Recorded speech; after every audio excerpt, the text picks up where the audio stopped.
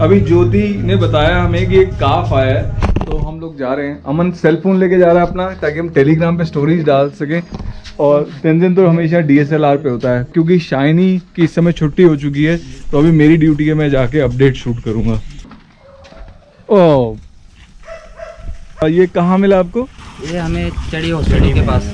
कर्मा परसों रात को एक बछड़ा डिलीवर किया लेकिन कुछ कॉम्प्लिकेशंस थी। तब तक तो ठीक था जब तक उसने बछड़ा डिलीवर किया था। पर दूसरे दिन शायद सुबह सुबह कर्मा की डेथ हो गई। कर्मा की बछिया बिन माँ की है तो कमल उसको अपने घर पे रख के फॉस्टर कर रहे और उसके लिए दूध लेके जा रहे हैं हम यहाँ से उसे पिलाने के लिए। बहुत अच्छा लग रहा है। कसम से एक जॉब से हटके कुछ अलग करना और वो भी एक गुड वर्क के अंदर आए। हैं। तो वो मेरे लिए काफ़ी बहुत अच्छा रहा और कल कसम से मैं इतना खुश लाइफ में नहीं हुआ जितना कल से हूँ अभी। पे हमें लता के पपीज भी मिल गए। ये फैंटा है, ये मिरिंडा है, ये पेप्सी है, ये कंचा है, ये कोला है। कंचा एडॉप्ट हो गया है और ये जा रहा है दिल्ली। अगर आप इन बेबीज को घर लाने में इंटरेस्टेड है हाय फैंटा कमे तो आप please people farm dot O R G slash adopt पे जाएँ और वहाँ से इनके लिए अडॉप्शन फॉर्म भर लीजिए। कल शाम में हमारे पास एक और बछड़ा आया चड़ी से। इसको आँख में मैगेट वूंड है बेचारे को। इसके मुँह के अंदर भी इसको एक मैगेट वूंड है। आज मुझे ऐसा लग रहा है कि चंद्रकांत और चाचू में कोई तो कहा सुनी हुई है आपस में। शायद कोई तो बीच की इनकी बात है। जिसकी वजह से ये लोग इतनी दूर दूर खड़े हैं। अदरवाइज़ कभी ऐसा होता ही नहीं है कि ये इतने इतने बड़े डिस्टेंस पे खड़े रहे। क्या हो गया? मेंढक जा रहा है और ये ठीक हो गया है। इससे ज़्यादा खुशी मुझे इस बात की है कि ये जा रहा है, क्योंकि कल रात को इसने मुझे 11 बजे 1 बजे 4 बजे रो रो के जगाया है। बाय मेंढक। Hope to never see you again कुछ बैड न्यूज़ भी है हमारे पास। आपको विश याद होगी जो भाली से आई थी हमारे पास छोटी सी पपी थी। विश जब हमारे पास आई तभी वो काफ़ी कमज़ोर थी। उसके बाद जो है एक एक्सटेंडल इंजरी थी तो उसका जो है हमें एम्पुटेशन सर्जरी करना पड़ा। एम्पुटेशन सर्जरी सक्सेसफुल रही और लेकिन दो दिन बाद ही उसको पार्वो डायग्नोस हो गया। पार्वो की ट्रीटमेंट भी उसकी एक आधा दिन चली लेकिन वो सर्वाइव नहीं कर पाई। एक तो पहले ही ब्लड लॉस काफ़ी हो चुका था उसमें। अभी अभी हमारे पास एक रेस्क्यू आया है। मैंने कभी भी ऐसा किसी डॉग के साथ नहीं देखा। है रीना देवी जी इसका ख्याल रखती हैं वो साथ ही अपने आसपास के बहुत सारे डॉग्स को फ़ीड भी करती हैं। सफ़ेद हो गई थी इसकी आँखें। फिर इतनी बड़ी बड़ी हो गई ना जैसे जैसे बाहर आ जाती हैं। जब इनको इस डॉग की हालत ऐसी दिखी तो वो इसको ट्रीटमेंट्स भी उन्होंने जगह जगह करवाया इसका और अब इसको यहाँ पे लेके आई हैं। ट्रीटमेंट इतना कॉम्प्लिकेटेड है कि उनसे मैनेज नहीं होगा इसलिए हमने इसको डिसाइड किया कि यहीं शिफ्ट करके इसका ट्रीटमेंट हम करेंगे। हालाँकि बहुत ज़्यादा चांसेस तो है नहीं इस डॉग के आई साइड वापस आने के लिए लेकिन फिर भी फिर भी विल ट्राई आर बेस्ट हो अगर आपको भालू याद होगा जो हमारे पास गग्गल से आया था इसको स्किन एलर्जी तो थी थी साथ में इसकी कान के ठीक ऊपर एक मैगेट वूंड था। इसका स्किन कंडीशन पूरा ठीक नहीं हुआ है लेकिन वो सिर्फ़ एक लोशन से मैनेज किया जा सकता है। तो जो जिन्होंने इसके लिए कॉल किया था वो आगे इसका लोशन कंटिन्यू करेंगे।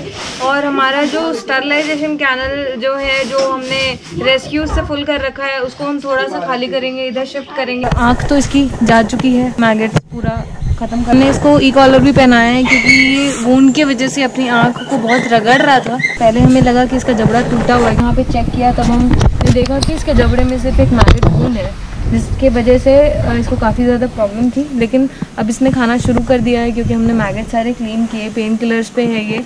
काफ़ी ज़्यादा रिलीफ है पहले से इसे। तो भालू के साथ ही आज मौसमी भी रिलीज़ हो रही है। इसके पेट के नीचे मैगेट वूंड था, जो अब नहीं दिख रहा है क्योंकि वो पूरी तरीके से हील हो गया है। प्रस्थान करने से पहले मौसमी जी को पिलाया जा रहा है पानी।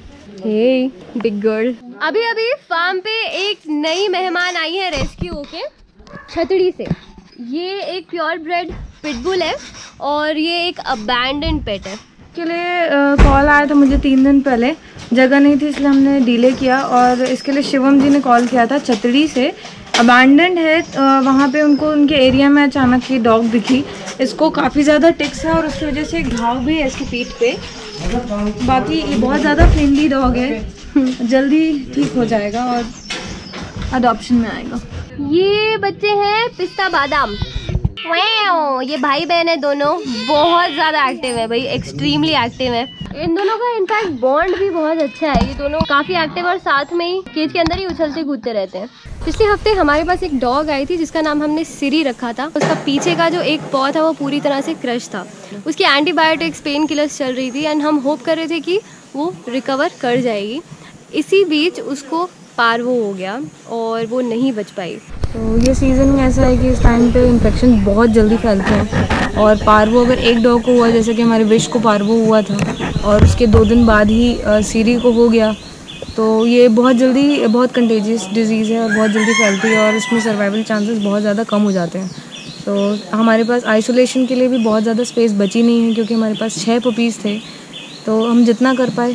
बूंदी का जो, हम फ्रैक्चर हमने बताया था कि हील्ड है, लेकिन ये हील फ्रैक्चर नहीं था और जो घास है एक्सरे के बाद हमको पता चला कि बोन में थोड़ा ज़्यादा डैमेज है और इसका जो घाव था उसमें इन्फेक्शन हो गया है, जिसकी वजह से काफ़ी ज़्यादा पस डिस्चार्ज हो रहा है। तो पहले तो उस पस का ट्रीटमेंट होगा और हमने इसका ये प्लान भी कर ही दिया है ताकि वो फ्रैक्चर मेंटेन रहे, उसका भी कंटिन्यूस मैनेजमेंट होता रहे और पस के लिए हम इसके एंटीबायोटिक्स चला रहे हैं। मटौर से हमने एक काफ को रेस्क्यू किया। इसको पीठ पे एक मैगट वुंड है और एक पेट के पास भी है। अभी इसकी ट्रीटमेंट चल रही है और आई एम श्योर कि जल्द इसका घाव भी भर जाएगा। क्योंकि आज बारिश है तो मुझे चार्ली भाई साहब और संजू भाई साहब, संजू बाबा यहाँ पे मिल गए। हमारे जो लार्ज एनिमल रिकवरी एरिया है, वहाँ पे। हमारे जो दिनेश भैया हैं, वो तो डील करते रहते हैं, चार्ली के साथ भी, संजू बाबा के साथ भी। मेरे को इतना तो पता है कि ये लोग दोस्त बहुत अच्छे हैं। बहुत गहरे दोस्त है ये, बड़ी पक्की दोस्ती है इनकी। और इनके बीच में इतना अच्छा इतना ज़्यादा प्यार है कि अगर संजू को अगर हम अंदर ले आते हैं और चार्ली बाहर रह जाता है तो इसके बगैर रह नहीं सकता। पूरा पूरा दिन, पूरा चीखता रहेगा, चिल्लाता रहेगा। फिर हम संजू को बाहर लेके जाएँगे तो शांत हो जाएगा। खाना भी एक साथ खाएँगे अगर अगर संजू खा रहा है तो ये साथ में खाएगा अगर संजू नहीं खा रहा तो ये भी नहीं खाता है। इतना प्यार है इन दोनों के बीच में। तो दोस्ती हो तो संजू बाबा और चार्ली जैसी वरना ना हो। अभी ज्योति ने बताया कि एक और रेस्क्यू आया है हमारे पास। ये छोटा सा बच्चा सिर्फ़ दो दिन का है और ये टांडा मेडिकल कॉलेज से आया है। अनोखी है क्योंकि ऐसी स्टोरी हमने कभी भी नहीं सुनी है। तो इसके साथ के जो तीन चार और पपीज थे अपने साथ वो ले गई लेकिन इसको बार बार छोड़ के जा रही थी। तो उन्होंने कोशिश भी की पपी को उसकी मॉम के सामने रखने की कि वो लेके जाए पर उसने फिर से इसको रिजेक्ट कर दिया। उसकी माँ के सामने भी रखा तो भी नहीं लेके गई फिर नहीं ले जा रही थी तो फिर हमें आज यहाँ आज विकी जी आए हैं all the way from Manali Samson को घर ले जाने के लिए। जिस चीज़ का हमें इतने दिनों से इंतज़ार था वो फाइनली हो गया। विकी जी फार्म पे है। तो विकी जी आपको सैमसन में ऐसा क्या खास लगा कि आपने प्लान किया कि आप सैमसन को अडॉप्ट करेंगे? मेच्योर डॉग को कहीं भी एडजस्ट होने में ज़्यादा वो नहीं लगता। और ये जैसे पहले भी एक फैमिली से आया है तो भी फिर फैमिली में जा रहा है। तो ज़ाहिर है कि वहाँ पे जल्दी से एडजस्ट हो जाएगा बच्चों के साथ। सर आपको कहीं ऐसा नहीं लगता कि बूढ़ा डॉग है? यंग या बूढ़ा होना कोई मैटर नहीं करता ये। अगर आपने जैसा इन्वायरमेंट देते हो तो डॉग लास्ट दिन तक वैसा रहता है। जैसे आप इसको डाइट देते हो जैसे इसके साथ खेलने के लिए इसको मिलेगा तो ये कोई मैटर नहीं करता है कि एज ज़्यादा है या Samson is a happy boy now अब सैमसन जाएगा मनाली की ठंडी वादियों में इंजॉय करेगा। साथ में जा रहा है सैमसन का खाना भी। सैमसन सैमसन बाय सैमी अब क्यों देखेगा ये हमें? सुरीली को हम यहाँ हमारे जो ऑफ़िस एरिया है फार्म पे हम वहाँ पे ले आए हैं कमल भाई लेके आए और रॉबिन अभी लाइव करे मैं धीरे इसलिए बोल रही हूँ क्योंकि रॉबिन अभी इंस्टाग्राम पे लाइव है सुरीली के साथ। ये तो हमारी दीदी लोग हैं। शर्म की बात है कि इनके लिए भी दूध खरीदना रहा है लाइव वो यहाँ पे गोप्रो आया बीच में यानी कि शाइन हेलो शाइन इज़ ये जो इसने जंप किया है ना ये क्या करते हैं क्योंकि जब आ, ये लोग माँ का दूध पी रहे होते हैं तो ऐसे ही थोड़ा मारते हैं अडर को एंड दैट्स हाउ दूध आता है। और ये मेरे को ये अच्छा लगता है ये कुत्तों की तरह ही पूंछ लाती है। आप थोड़े ज़्यादा ही खुश लग रहे कई कारण से सुरीली के साथ एक मतलब किसी रहने का मिल रहा है। थोड़ा था रहता था मैं अकेला ही रहता हूँ मेरा कोई फ्रेंड सर्कल है नहीं। ये यहाँ की क्वीन है। इसी को सबसे ज़्यादा अटेंशन मिलती है बहन जी को। तो अब अगर सुरीली को मिल रही है अटेंशन तो बेटी जी कैसा रिएक्ट करती है, वो देखना चाह रहे थे हम। ये बेटी जी बदतमीजी कर रही है सुरीली के साथ। बेटी जी वेरी बैड वेरी बैड तो अभी अभी सुषमना जी आए हैं पालमपुर से एक पपी के साथ। इसको इंजुरी है फ्रंट वाली जो टांग है उसके ऊपर। नगरी जो मार्केट एरिया है वहाँ पे मिला था। बाइक वाले आए और उन्होंने उसकी मम्मा एक्चुअली वहाँ पे ना मरी हुई पड़ी थी। तो वो रास्ते साइड में थी कॉर्नर में तो ये बीच में बैठा हुआ था।